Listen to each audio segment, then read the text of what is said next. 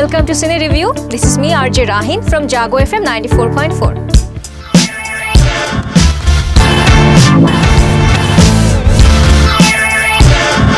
কি অবস্থা সবার গত সপ্তাহে কিন্তু একটা বলিউড মুভি রিভিউ নিয়ে এসেছিলাম এবং বরাবরের মতো আজকে একটা নতুন মুভি নিয়ে রিভিউ করব তবে মুভিটা এবারে কিন্তু হলিউড মুভি নাম হচ্ছে এক্সট্রাকশন কিছুদিন আগে রিলিজ পেয়েছিল মুভিটি এপ্রিল মাসে এবং প্রচুর সাড়া ফেলেছে। স্পেশালি বাংলাদেশিদের মধ্যে তো ব্যাপক আলোচনার সৃষ্টি করেছিল এক্সট্রাকশন কারণ আর কিছু নয়, কারণ এইটাই যে এখানে বাংলাদেশের প্রেক্ষাপট দেখানো হয়েছে।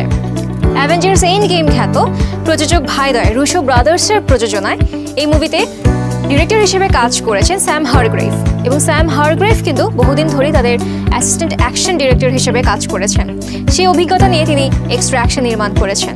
এবং এই মুভিতে আরেকটা জিনিস লক্ষণীয়, এই মুভিতে কিন্তু নায়ক ক্রিস হেমসওয়ার্থ তিনি নিজেও টাকা ঠেলেছেন। মানে তিনি নিজেও কিন্তু এই মুভির অন্যতম প্রডিউসার মুভিটি টোটাল বাজেট ছিল sixty five million US dollar এবং এই মুভিটা কিন্তু ইতিহাস করেছে নেটফ্লিক্সে নেটফ্লিক্সে এখনও পর্যন্ত highest view এক্সট্রাকশনের ninety million views for extraction এবং এখানে কিন্তু বাজিমাত করেছে এক্সট্রাকশন টিম কারণ তাদের প্ল্যানই ছিল তারা ইন্ডিয়ান বাজারকে ধরবে।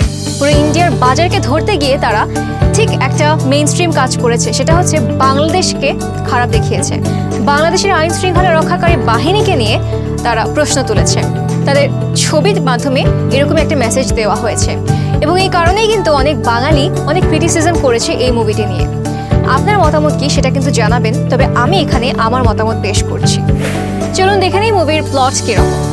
সো মুভিতে দেখানো হয়েছে যে ভারতীয় এক ডন, মাফিয়া ডনের ছেলেকে কিডন্যাপ করেছেন এক দল দুর্বৃত্ত।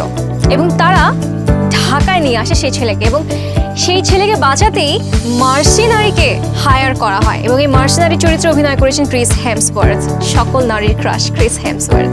এবং তার সাথে এই মুভিতে আরও আছেন বলিউড থেকে পঙ্কজ ত্রিপাঠী, আছেন রণদীপ হুদা, সেই সাথে আছেন ইরানি অভিনেত্রী গোলচিফতে ফারাহানি। এবং বেশ কিছু জিনিস আছে লক্ষণীয়, যেমন অনেকেই অনেক প্রশ্ন তুলেছেন যে এই মুভিটার নাম প্রথমে দু হাজার আঠারো সালে রাখা হয়েছিল ঢাকা, কারণ মুভিটা প্লট ছিল ঢাকাতে। পরবর্তীতে নাম রাখা হয় আউট অফ দ্য ফায়ার এবং ফাইনালি নাম চেঞ্জ করে রাখা হয় এক্সট্র্যাকশন মানে একটা মাফিয়া ডনের ছেলেকে কীভাবে এক্সট্র্যাক্ট করে সেই কাহিনী। তো ঢাকাকে কীভাবে রিপ্রেজেন্ট করা হয়েছে সেটা নিয়ে কিন্তু অনেকেরই অনেক প্রশ্ন আছে যে কেন ওইভাবে উল্টাপাল্টা দেখানো হয়েছে? কেন আমাদের আইন শৃঙ্খলা বাহিনী কীভাবে ইনসাল্ট করা হয়েছে তাদের অ্যাকশনের দ্বারা? এবং কেন ভারতীয়দের মন রক্ষা করার জন্য তাদেরকে অনেক বেশি প্রায়োরিটি দেওয়া হয়েছে? পুরো মুভিতে বাংলাদেশ থেকে কোনো কাস্ট নেই।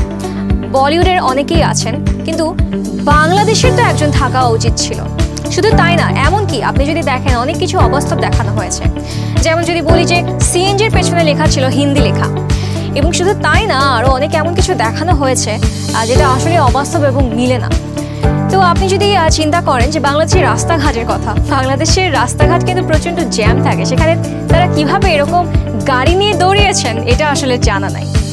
এরকম আরও অনেক যেমন আপনি যদি ডায়লগের কথা ধরেন, তো আসিফ যিনি মাফিয়া ডন সেই আসিফের বাংলা কথা শুনলে মনে হয় কি, মামা, সে কি আসলে থেকে আসছে? বাংলা জানে না।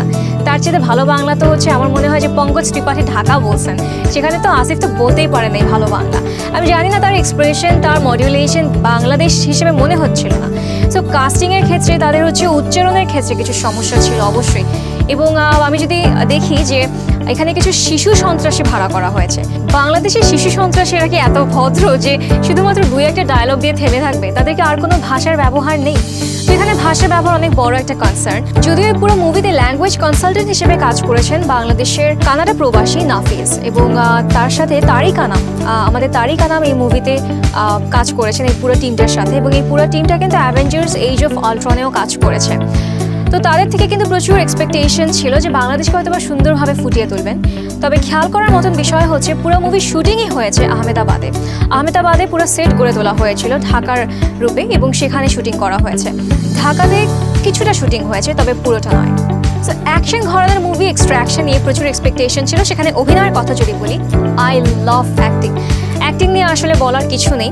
ফার্স্টে বলব Chris Hemsworth he was super cool ওনাকে নিয়ে আসলে করে বলার কিছু নাই। Chris Hemsworth is my very favourite সেই সাথে যদি আমি বলি যে গোলচিতে ফারাহানি তিনিও খুবই ইরানিয়ান পপুলার একজন অ্যাক্ট্রেস এবং আমার খুবই পছন্দের একজন actress she was fabulous very hot very sizzling খুব মানিয়েছে। তবে তার কিছুটা আমার কাছে ভেগ মনে হয়েছে। তার সাথে ক্রিস হেমসওয়ার্থের কি কেমিস্ট্রি ছিল নাকি কী ছিল আসলে ঠিক বোঝা যায়নি।